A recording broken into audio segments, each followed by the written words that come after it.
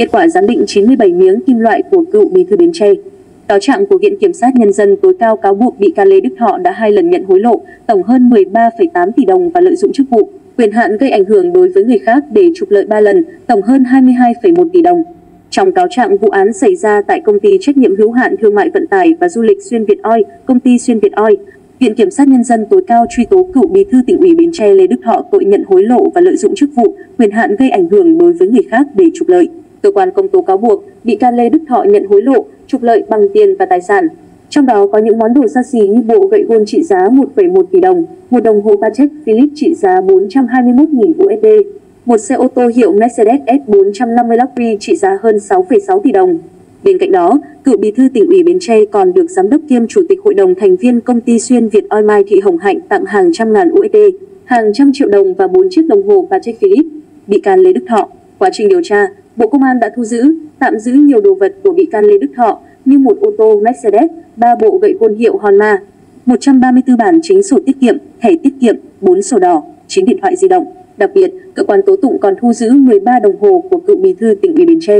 Trong đó, 10 chiếc là đồng hồ đeo tay các hãng Patek Philippe, Tissot Speak, Marine, Cricket, Blancpain, 3 chiếc đồng hồ để bàn, có một chiếc hiệu Patek Philippe. Quá trình điều tra, cơ quan công an cũng tìm thấy và thu giữ 97 miếng kim loại màu vàng khi khám xét chỗ ở của bị can Lê Đức Thọ.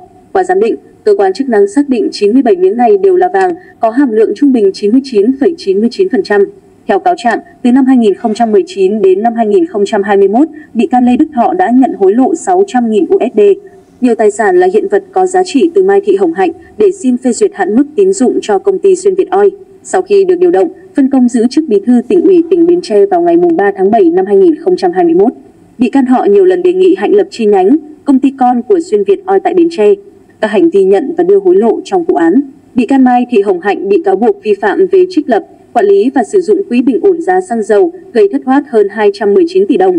Vi phạm về quản lý tiền thuế bảo vệ môi trường gây thất thoát hơn 1.200 tỷ đồng, đưa hối lộ cho các cựu quan chức 22 lần, tổng số hơn 31,5 tỷ đồng. Bị can Lê Đức Thọ nhận hối lộ 2 lần, tổng số hơn 13 tỷ đồng, lợi dụng chức vụ, quyền hạn gây ảnh hưởng đối với người khác để trục lợi 3 lần, tổng số hơn 22,1 tỷ đồng. Bị can Hoàng Anh Tuấn, cựu phó vụ trưởng vụ thị trường trong nước thuộc Bộ Công Thương, nhận hối lộ 3 lần, tổng số gần 6 tỷ đồng của bị can Mai Thị Hồng Hạnh. Bị can Trần Duy Đông, cựu vụ trưởng vụ thị trường trong nước thuộc Bộ Công Thương, nhận hối lộ 5 lần, tổng số gần 5 tỷ đồng. Bị can Phan Kiến Anh, cựu giám đốc chi nhánh phân phối sản phẩm lọc dầu Nghi Sơn, nhận hối lộ 6 lần, tổng số hơn 3,2 tỷ đồng. Bị can Đỗ Thắng Hải, cựu thứ trưởng Bộ Công Thương, nhận hối lộ hơn 1,1 tỷ đồng. Bị can Nguyễn Lập An, cựu phó vụ trưởng vụ thị trường trong nước thuộc Bộ Công Thương, nhận hối lộ 4 lần, hơn 900 triệu đồng. Bị can Nguyễn Văn Thắng, phó giám đốc chi nhánh Hà Nội của công ty Xuyên Việt Oi, giúp sức Mai Thị Hồng Hạnh đưa hối lộ 3 lần, tổng số hơn 7,1 tỷ đồng. Bị can Đồng Xuân Dũng, lao động tự do, giúp Mai Thị Hồng Hạnh đưa hối lộ hơn 6,7 tỷ đồng.